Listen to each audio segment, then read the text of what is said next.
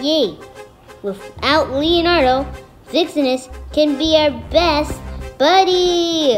And, Yeah. and Leonardo's always being so bossy and all of that. Yeah. I mean, like, he always celebrates without us. He got a baby without us, and he doesn't even want to talk to us. yeah, and, and, and, and because of Leonardo, we have to hear crying all the time.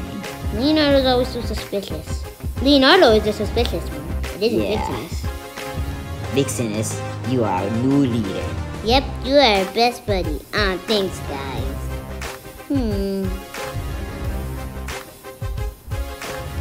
Hey, I'm back! Guys? Guys? Sorry, Leonardo, we have a new leader who's Vixenus now. You, we hear too much crying from your baby all the time, Okay, and we think you're so bossy. Bossy. Come, Leonardo. Please, please. Just give Vixenus another chance. Like, I mean, like, it's, it's okay if we give him more than one chance. Yeah, even though he's done bad things, he's still a turtle. Yeah. Hmm. Okay, fine, guys.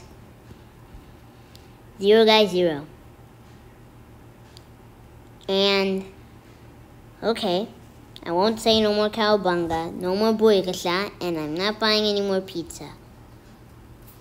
Good day, Mister.